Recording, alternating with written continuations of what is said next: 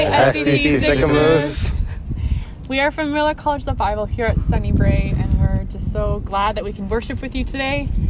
Um, as we start off, just listen to these words from Psalm 33 8 to 12.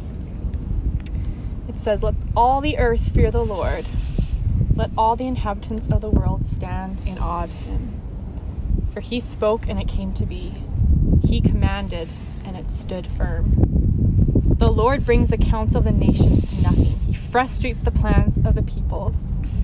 The counsel of the Lord stands forever, the plans of his heart to all generations. Blessed is the nation whose God is the Lord, the people whom he has chosen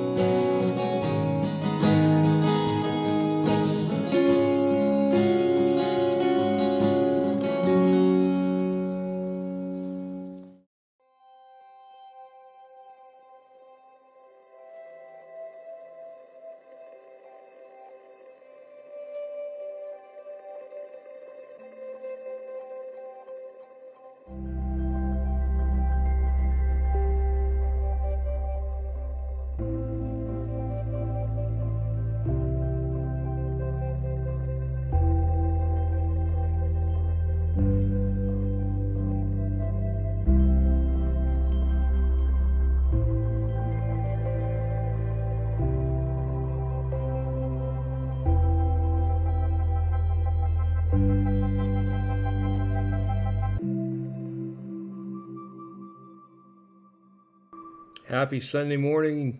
Happy Palm Sunday.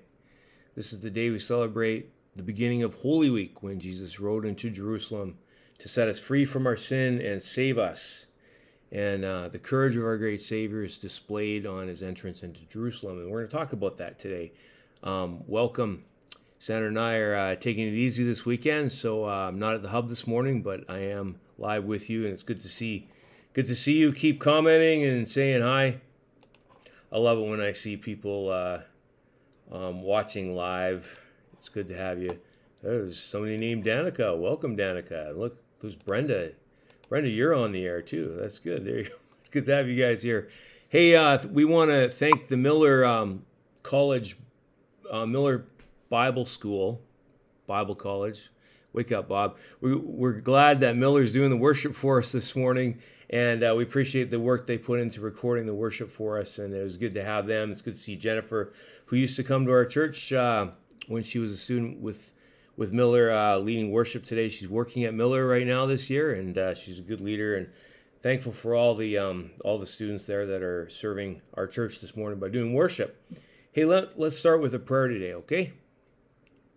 Father, I thank you that no matter where we are, you are there, and your Spirit binds us together as family. We pray for your grace um, upon us that we could learn of you, Jesus, and learn to be more like you, and to um, know that you rode into that big city knowing that five days later you would die for our sins and and that seven days later you'd rise from the dead. And we thank you so much that we are alive in you, that we're accepted by you, that you are our King, and that you have given us new life. Thank you, Lord, for this week to remember the greatness of our faith because you are great. And we thank you so much for being with us this morning through your Spirit. We love you, Father God, Jesus Christ our Lord, and Holy Spirit. Amen. Well, guys, got a couple of uh, announcements for you this morning that are uh, um, important and something to keep in mind. We've got Good Friday. Good Friday is happening. Um, we're having communion at the hub uh, three times. We can have 25 at each uh, communion. You'll be outside, so if it's raining, bring an umbrella. But we're going to have communion set up, and we're going to sing a couple songs and, and worship together and partake of communion at 9, 10, and 11. So, what I want you to do is look at the ad that Kim will put on uh, Facebook and Instagram. It's got my phone number at the bottom. And uh, please uh, phone text me and let me know if you're coming. I'm going to have three lists of 9, 10, and 11 for, for Good Friday. And uh, that's going to be a good time as a church family in smaller numbers to celebrate. Please wear a mask uh, when you come, and then we will, um, of course, you'll be able to take it off for the communion. And also, the good news is that next Sunday is Easter Sunday. Yeah, it's going to be good. So, Easter Sunday is going to be uh, a drive in service at the Legion parking lot downtown Sicamous, big paved parking lot. Um, show up in your car. Please stay in your car, and uh, you can undo the windows, and we will bring communion and and uh, to you in in your car, and uh, I mean snacks to you in your car for your family, and and uh, join us for Easter Sunday. I would get there early, start showing up at 9:30 to park your car. We'll have parking attendants, and we will have a great Sunday celebrating Easter together.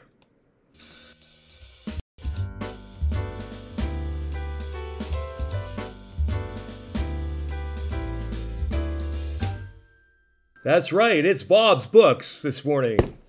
I want you guys to get into the habit of coming to the hub, making yourself a cup of tea or a cup of coffee, and sitting down and going to our lending library and grabbing one of these good books that I work hard to get you because they're good for your heart and soul. Way better for you than Netflix, way better for you than the news. Come by and get these books. I mean, I've got so many of them and they're free to give away. And you turkeys need to come by the hub and take advantage of my hard work and get yourself a free book to read with your coffee in the morning. Okay, so this is The Pursuit of God by Tozer, small book, amazing book, one of the books that changed my life. Soul Cravings by Erwin McManus. This will stir your heart and soul. Just read half a chapter at a time with your coffee in the morning before you go to bed at night. I've got these Abundant Life New Testaments. They will introduce you to a relationship with Jesus. You might want to keep one, get one just to have in your car for when you run into somebody that needs hope. Have this available with you in your toolbox. Okay, I've got this great book. I picked up two of them this week. Then sings my soul. If you love the hymns like I do, these are the stories behind the world's greatest hymns. I've got two volumes of this you can borrow. Okay? Then sings my soul. It's good for the soul to go over the stories of why they make these hymns. Kids, look what I got for you. You can borrow the Action Bible devotional. This is an amazing graphic novel that helps you do your devotions and tells you about Jesus. This amazing comic artist and writer was hired by Marvel in DC. He's trained in the same schools. Amazing. This is the Action Bible devotional. Come by and get this. And guys, I can't tell you how excited I am. You probably know because it's me.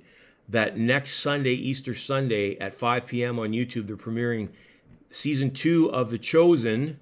And if you want to catch up, there's only eight episodes in season one. I've got the DVD. If you're stream challenged like my parents were and you don't know how to um, stream it to your TV, you can borrow this DVD. It's an old fashioned way to watch movies. So come by and borrow this. First person to do that. They'll be available tomorrow at the hub in the morning. I'll be there at 9. So pop by and take advantage of our lending library. And if you're a Kindle reader like me, then buy this book by Tim Keller. It just came out. Hope in Times of Fear, the meaning and re- the, the resurrection and the meaning of Easter. I just bought this for my iPad. It's great. This book um, will will really encourage your soul. And he just wrote it. He he started reading this, writing this book three weeks before he found out that he had pancreatic cancer and in the middle of the pandemic. And it is a book that we need to read these days. So get it. It's really affordable. It's on on Amazon. Just get it for your Kindle app and read The Meaning of Easter by Tim Keller.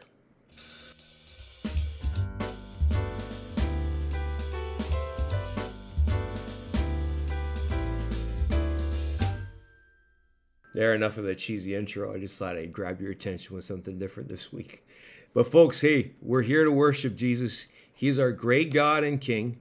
And I want you to, um, to think about Him um, maybe in a new way today. We're always praying that new, new, new truth will come to our soul from the Bible. It never wears out. So let's start by worshiping Him because He is great. Let's worship with the Millars Band. Hi, SCC Sicamous.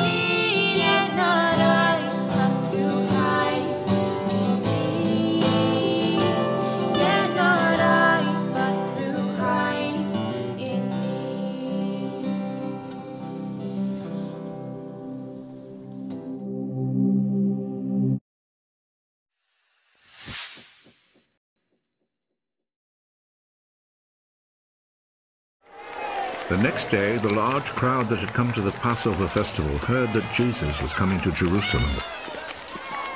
So they took branches of palm trees and went out to meet him, shouting, Praise God! God bless him who comes in the name of the Lord. God bless the King of Israel. Jesus found a donkey and rode on it, just as the scripture says. Do not be afraid, city of Zion. Here comes your king, riding on a young donkey.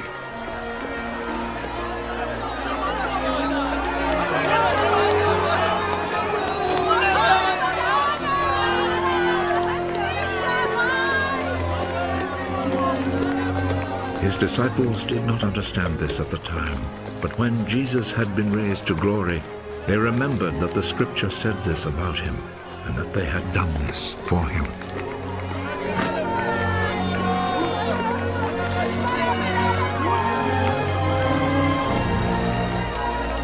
The people who had been with Jesus when he called Lazarus out of the grave and raised him from death had reported what had happened. That was why the crowd met him, because they heard he had performed this miracle. The Pharisees then said to one another, You see, we are not succeeding at all. Look! The whole world is following him.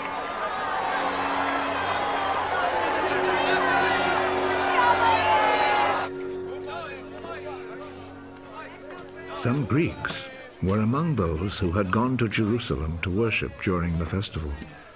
They went to Philip, he was from Bethsaida in Galilee, and said, Sir, we want to see Jesus. Philip went and told Andrew.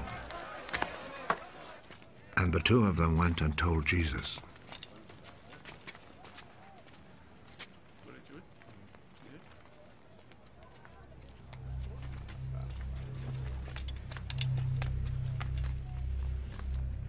The hour has now come for the Son of Man to receive great glory. I'm telling you the truth. A grain of wheat remains no more than a single grain, unless it is dropped into the ground and dies.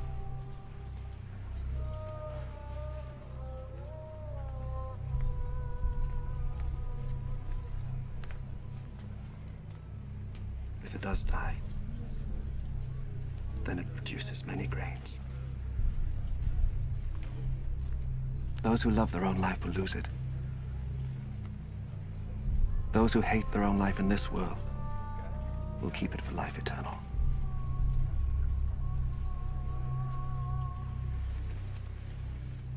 Whoever wants to serve me must follow me, so that my servant will be with me where I am, and my Father will honor anyone who serves me.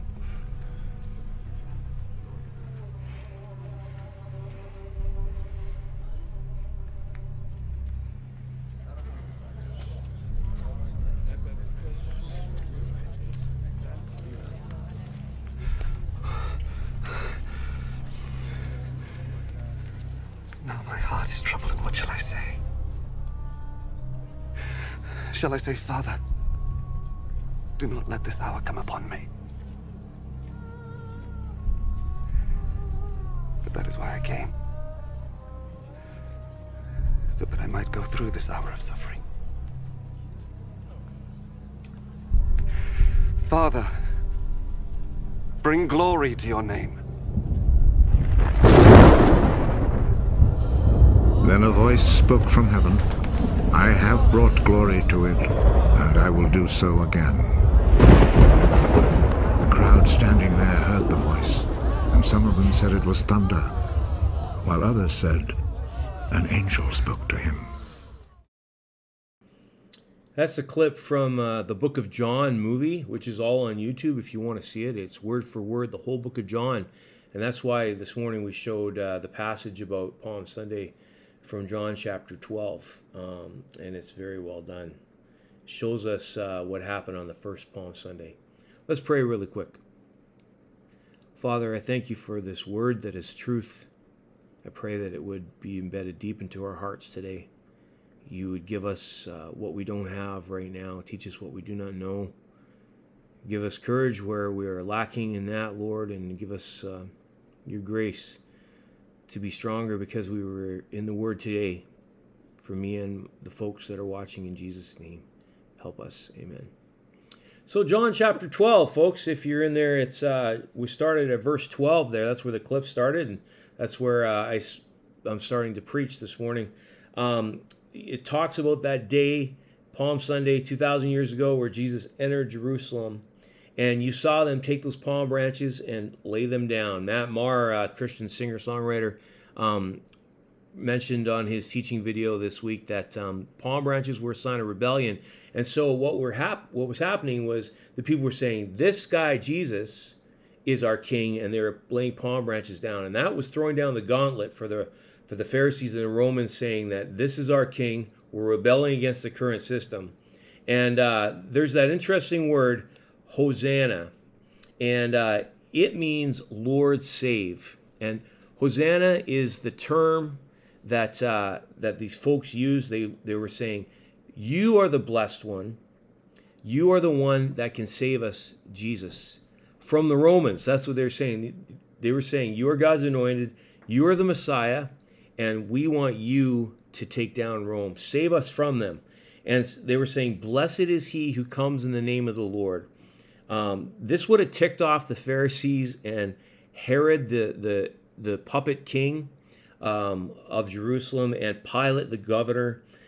They were the crowds were saying the only one capable of saving us is the blessed one who comes in the name of the Lord. Pharisees, we don't trust you anymore. Herod, we don't want you. You're a sham king. We don't want you, Pilate. You're a Roman. This is going to be our king. So they laid down those palm branches in a sign of rebellion. And they said, Blessed is this king, the king of Israel. So this would have ticked off everyone who was in power. But the interesting thing is that Jesus did something no one would have expected. Verse 14, he says, he got it says he got on a donkey. Now what was he thinking, right? I mean, you want to be the Messiah, you have a grand entrance, right, on a big white horse. Um, but Jesus found a donkey to ride. Interesting thing about a donkey is it's like the lowliest of riding animals. Most people will never ride on it. Secondly, it's got a cross on the back of its back. That's an interesting thing, isn't it?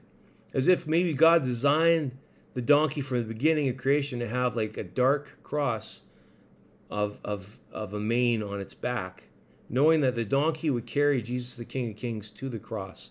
I thought that was interesting. But the most interest, interesting thing about it is this. Um, riding a donkey, Jesus was saying he was the approachable king. And the prophet said, Don't be afraid, daughter of Zion. See, your king is coming, seated on a donkey's colt. No one would have expected the Messiah to show up this way. And what this tells us is that Jesus isn't a king that you need to be afraid of approaching. You can come to him. He belongs to the common man. Even riding on that donkey, he was the same level as the people walking. Down here, kings of the earth rarely invite a normal person like you and me to hang out with them, to be their personal friend. You would have to be a common person that did something extraordinary to get recognized at uh, the White House or be brought to Parliament to receive the Order of Canada. But Jesus is a different kind of king. Unlike Herod, spoiled brat, unlike Caesar, who would build his kingdom on the backs of slaves, unlike Pilate, who would rule with intimidation um, and crucify thousands, which he did, unlike the Pharisees, who were exalting themselves up to be the only ones that got God, Jesus was saying, I'm attainable. I'm an approachable king. I'm available to you. Jesus is available to every one of us. And get this, he's a different kind of king too because he's the king of your heart. He would become the king of the human heart before he would become the king who's coming again one day and he will come in glory and overwhelm mankind. He was giving people a chance to come to him willingly by riding on a donkey. And uh, contrast the arrival of Jesus on a donkey with the arrival of Pilate when he came from Rome to the to the Roman garrison in Jerusalem. Pontius Pilate entered Jerusalem from his home in Caesarea, and I, I've been there. It was a grand place to live. His Pilate's procession, the governor um, there in Jerusalem, was in the Roman style, right? complete with a terrifying display of Roman military might. Pilate was perched atop a majestic stallion. He had all the trappings of Roman wealth and prestige. His procession was a proclamation of Rome's superiority to crush, and it came with an undeniable message. Pilate was coming into Jerusalem during Passover, the week of Passover, to tell the pilgrims who had come to the holy city, you better keep the peace or we will control you by force and crush you. Now, Jesus, on the other hand, he comes into Jerusalem, showed us the King of Kings riding on the most non threatening, non majestic beast imaginable, a donkey with the garb of a commoner. He's not dressed in a royal robe, callous hands of a carpenter, not the pampered, manicured hands of a Roman governor. His procession was a proclamation of his humility, not his superiority, even though he was the King of Kings. It was a proclamation of his humility, and it came with the undeniable message directed to the people who had gathered in the city from near and far. The message was this Come to me, all you who are tired and worn out, sick of religion, poor, the downcast, the slaves, the free, rich and poor, I will give you rest. He was saying, I'm an approachable king. And, you know, contrast that with the Pharisees too, right? The Pharisees, um, Jesus was throwing down the gauntlet for these guys that were saying that they represented God. They were not representing God well at all. The gloves were off. Palm Sunday, his entrance into Jerusalem, defied the Pharisees. And uh, they could handle um, so much of this this upstart young Messiah, but this procession through the through the streets was intolerable. This fanatic and usurper must be put down finally was what they were thinking. Jesus in that tumultuous hour, a commentator says, was issuing a challenge to the Pharisees. Every token of royal honor which he accepted that day gave point to the challenge, and every hosanna of the crowd drove it home. Let the powers of evil do their worst. He knew their power, he was the king's anointed. He knew his power. He was riding to the throne which God had given him. He was ready for the last campaign. But he wasn't going to assume the throne by force. He was going to be glorified by laying down his life. The Pharisees teach us one thing that's important don't make God in your image. Don't look at God through human eyes. Verse 19 says, Look how the whole world's gone after him they they they thought Jesus was going to take over by human means. The Pharisees thought that Jesus was going to um, be like a William Wallace type, Braveheart type figure riding on this big horse. One thing that you and I do, one thing that we struggle with, I struggle with on a daily with this, is I want things my way. The Pharisees wanted things their way. And when someone who's above me shows me that my way is the wrong way, I have a tendency to disagree and write them off. We all do. In the case of the Pharisees, here was Jesus, the God man, riding into Jerusalem, showing them what God really looks like. Showing them that, unlike the Pharisees, Jesus is the approachable king. He's the religious leader who doesn't condemn like the Pharisees did. And he's not like the Pharisees who say, you got to get to up to our level to be accepted by God. You got to know all the scriptures like we do. You got to have a Bible degree. You got to have your masters. They were the experts on the on God, and uh, whereas they said, "Get to our level," Jesus said, "I'm God coming down to your level." And you don't need to know anything except that I love you and I'm here for you. I'm here to die for you. Jesus came down to our level. Uh, When I was a kid, I loved a song that was called He Came Down to Our Level when we couldn't get up to His, right? And that's because Jesus is the world's only humble king. He showed us, like I said, what God was like, riding an eye level. And uh, the Bible says at first his disciples didn't understand this because um, they were looking at it too through human eyes, right? They didn't realize that Jesus was coming into Jerusalem, even though he had told them before, to die for the sins of the people. They didn't understand it because they were looking at Jesus as a human Messiah to solve their just merely human problems, right? The, the physical problems. And often that's what we want. We want God to solve the pandemic, but we need to look deep inside and say, okay, what needs to be solved in me? I need to check my heart, not just the external circumstances, right? The disciples were just looking at the external. And um, the disciples were saying, Yes, Jesus, set us free. The boys thought this was it. This is the moment. He's coming into Jerusalem. He's going to take down Rome. They didn't yet understand that he was on his way to his death. You and I have an advantage over the disciples, that's for sure. Um, at the time, they couldn't extricate themselves from the circumstances around them of Roman occupation, so they couldn't help but want Jesus to be riding into Jerusalem to deliver them from the Roman oppression. But you and I have the same disadvantages they did. Um, we're human, and we cannot extricate ourselves sometimes from our circumstances that we're in the middle of right now. Maybe we just want Jesus to get us out of this pandemic. Maybe we just want Jesus to solve our external problems. I've talked to some of you this week who cannot see a way out of this situation that we're all in right now, and you're discouraged. You're looking at it through just human eyes. Maybe you're just listening to too many different human opinions. But you got to realize that Jesus got on that donkey for you and me today in March of 2021. The same Jesus riding into Jerusalem for those folks died on the cross for you and me too.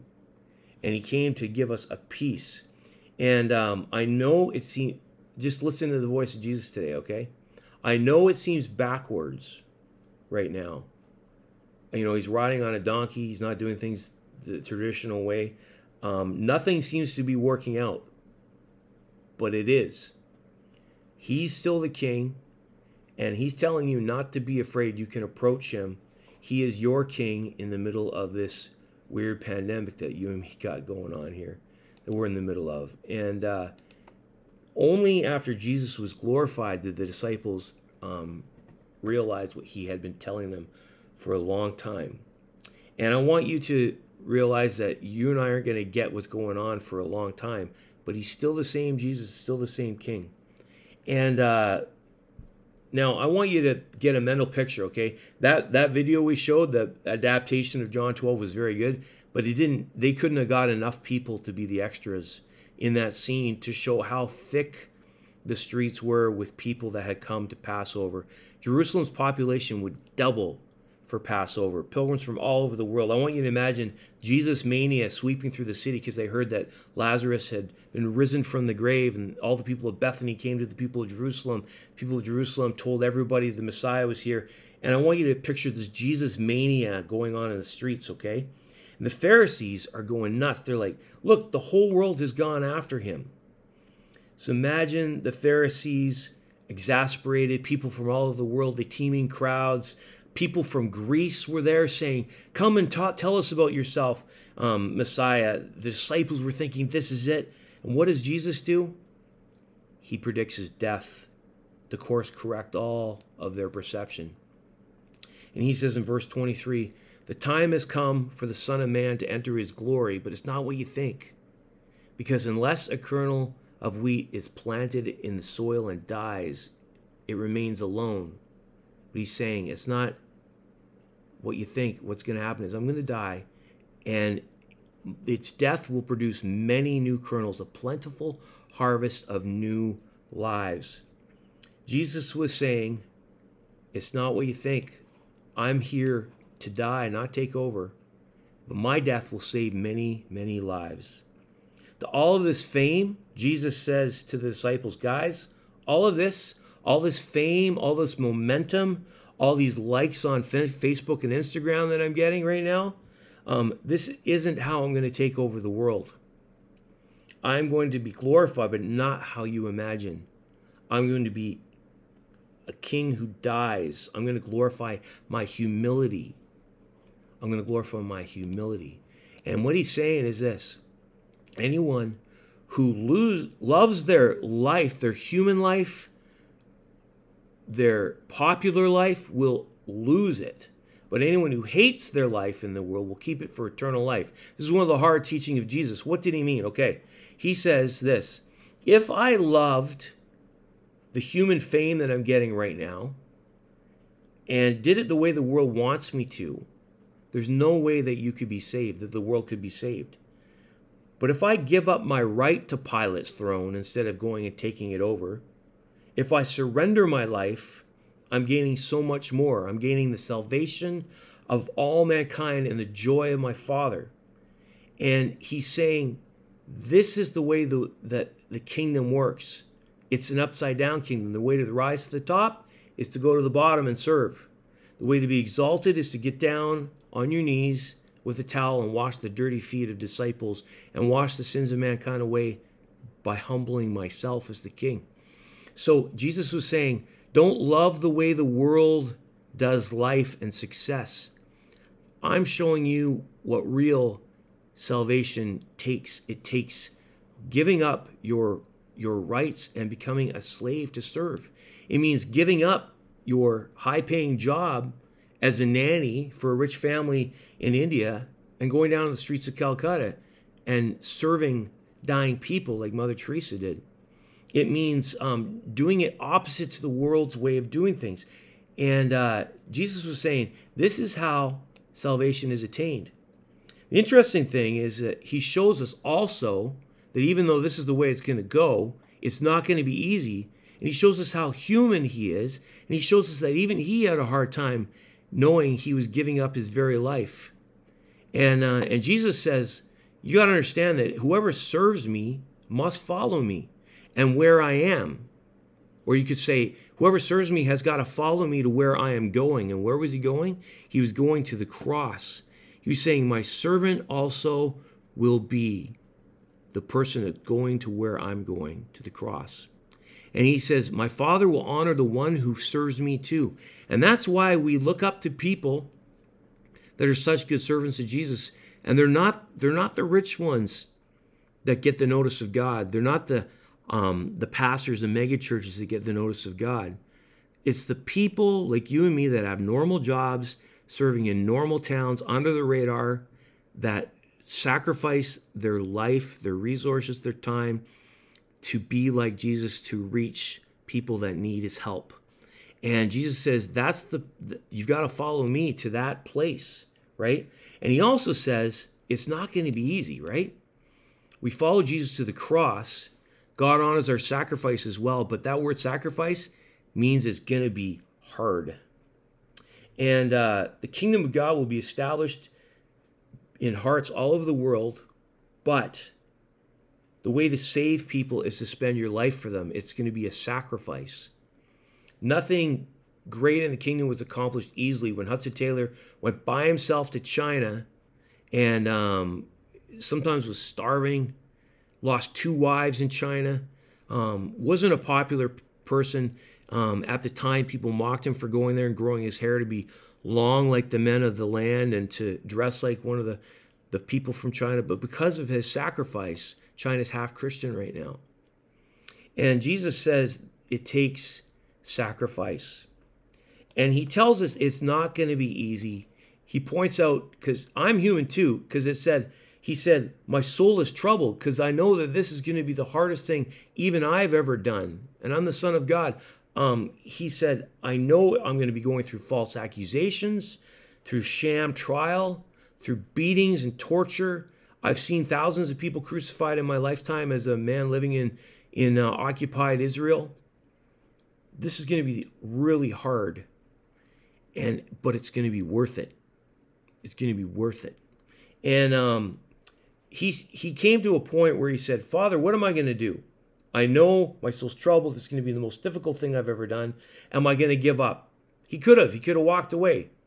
Um, but no, I remember my mission. I've come for this very hour.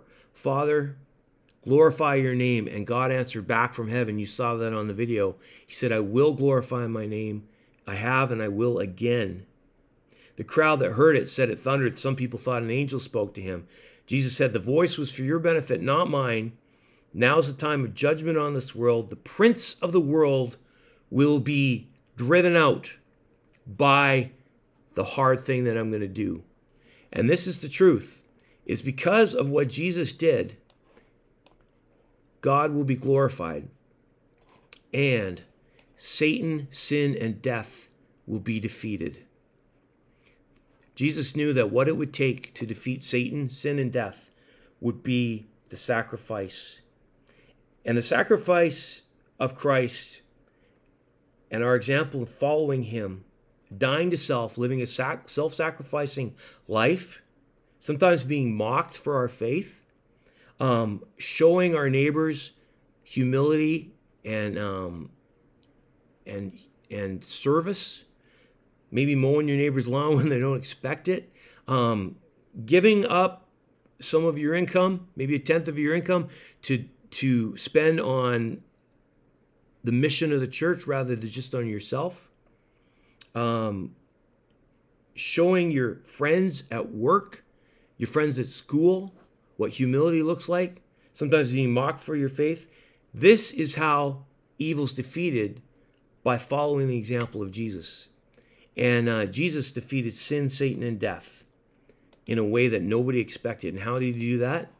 He said, I'm going to be lifted up on a cross. Not lifted up in the way that the world thinks we're lifted up. For years, people misinterpreted the verse where Jesus says, I'll be lifted up.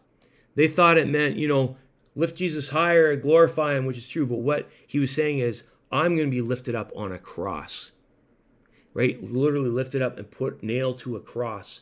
And that is going to draw the world to myself. Not, um, not getting a, a million likes on Facebook, right?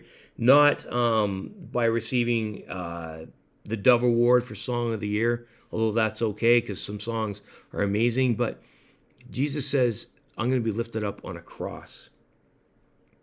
Billions of people have been led to Christ because of a sacrifice on the cross, which is now empty. He's alive, but first he had to surrender his life to people like you and me. So, what's the takeaway today for you and I that live in the world that, that we live in? I think that we have to follow the example of Jesus and we have to humble ourselves and we realize that Jesus um, is there for us and we should be there for people. Um, we need to realize that we need to be approachable. I want to ask you a question Do you have a faith that exudes humility? Do you have a faith where people know how human you are? And, um, or are people afraid of you? There's, there's a question, right? You could be somebody that uh, is a Christian that looks superior and looks like, you know, they're unapproachable and they're better than everybody else. That's funny. I love it when there's hum- humanity going on our Sunday morning services. It's okay, you can shut your phone off. It's going to stop ringing. Um, you see, the thing is, is that you got to be a humble Christian. So ask yourself the question too. You know, could I be wrong? Do I have to reassess how I'm living out my faith? Because none of us have it together. Don't ever be like the Pharisees and think you've arrived. And because you've got your theology right, now you've definitely got it nailed down. You're good to go. Or your opinions are firmly cemented. Maybe you need to reassess those too. But realize that you might need to be lifted up on the cross this week. Crucify your pride again and again and again. Surrender. Die to your own human per- perception of reality. Realize He's the King, we're not, and there might be another way of looking at things. I want you to um, think about a lady named Corrie Ten Boom. Okay, she was the daughter of a humble uh, watchmaker and um, a fixer of watches in in Holland in the uh, mid 20th century. When the Nazis began to take over, she was thrown into a concentration camp for uh, and for hiding Jews from the Nazis in a secret room in their upstairs of their house to save their lives from the Nazis. She was thrown in prison for that. And um, amazingly, because of the grace of God, she survived the concentration camp at Ravensbrück. She got out and became an accomplished author when she wrote The Hiding Place and books about Jesus. She became a famous speaker all over the world. Corrie Ten Boom was once asked if it was difficult for her to remain humble. Her reply was simple. When Jesus rode into Jerusalem on Palm Sunday on the back of a donkey and everyone was raising waving palm branches and throwing garments onto the road and singing praises, do you think that for one moment it ever entered the head of the donkey that any of this was for him? She continued, If I can be the donkey on which Jesus Christ rides into his glory, I give him praise all the I will give him all the praise and all the honor. What Corrie Ten Boom was saying is it's a privilege to be the humble donkey that carries the good news of Jesus. And you may never receive any accolades for your work, but every time you bring the good news of Jesus to somebody, you don't mind being the donkey who's not noticed because you're carrying him. And what we're saying is, Lord, exalt yourself, exalt Jesus. May we be humble like that donkey and carry the good news and not care if anybody knows us. That's why um, I think pastors that serve in small towns and have small churches that do great things for the community and never get noticed, who cares? Jesus notices. We're happy to be the donkey, right? Follow the King of Kings to victory in humility. Lift him up. Follow the resolve of Jesus, who humbled himself even to death on a cross, the self sacrificing attitude of Jesus, how he drew all men to himself, how he's changed the world, where there's two billion of us now that worship him that are alive, not to mention the billions in, in heaven and the billions that are going to come to faith. It came because of his humble sacrifice. He's the humble king. This is your hero. We need to be a hero like him. And this is the challenge to us on Palm Sunday. And today we want to sing Hosanna. Lord, you're the only one that can save us. You save us. We worship you. And I see the King of Glory coming on uh, in a humble way for you and me today. And he's changing lives. And there's good news. When you are like him, he will use you to change people's lives too. Sing this song with me, Hosanna on Palm Sunday.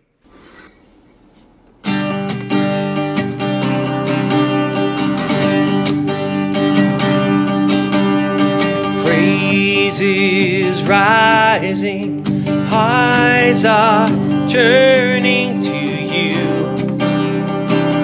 We turn to you.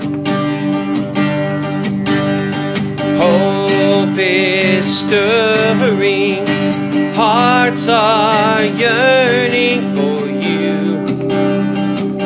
We long for you. Cause when we see strength to face the day.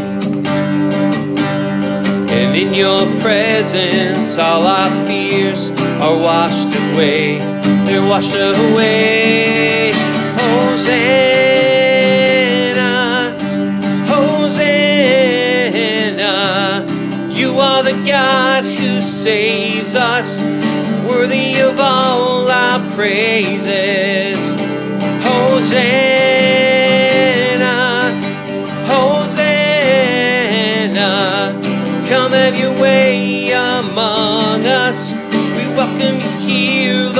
Jesus.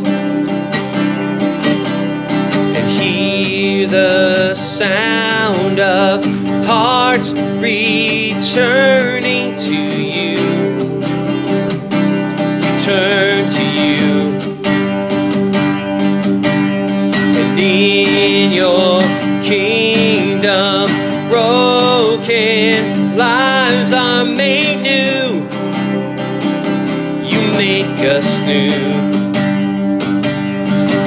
we see you, we find strength to face the day. And in your presence, all our fears are washed away. They're washed away. Hosanna, Hosanna. You are the God who saves us, worthy of all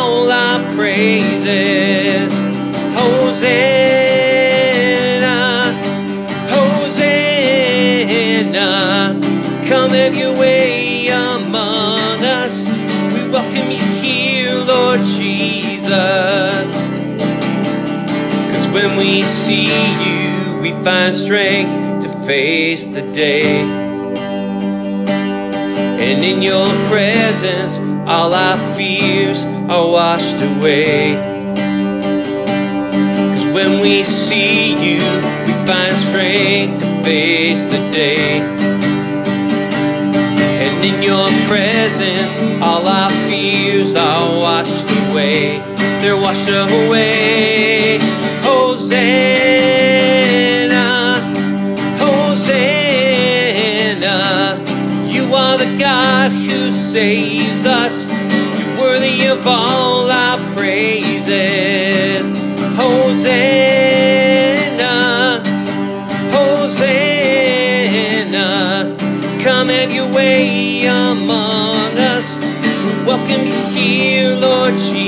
Jesus.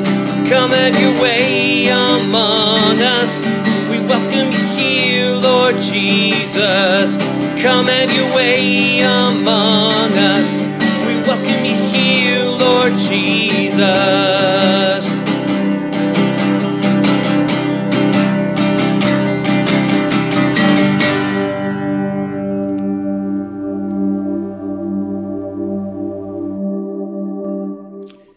Pray with me this morning? Father, I pray that we would see the truth. You'd rearrange our hearts, put us in the back seat, put Jesus in the driver's seat today. Follow his example. Help us not get uppity, but help us be bold about our mission. That you are with us, that we know that we're on the right team. Maybe today, folks, you need to pray this. I pray, Father, you forgive me for my pride. I give my heart to you. I ask you for your strength to serve the world, to show them what you really look like. Guide my thoughts and then my actions this week. Maybe today, folks, some of you need to pray this for the first time. I make you the king of my heart, Jesus. I believe you rode into Jerusalem to die on the cross for my sins. Forgive my sins, Lord. I thank you that you're alive and that you're my king as of today. In Jesus' name, amen. Folks, pop by the hub, get one of these great books that I offered earlier, and uh, say hi to me this week. And um, and remember, Jesus is our King, and He's with us. He came to save us. Blessed be the name of the Lord. Have a good week.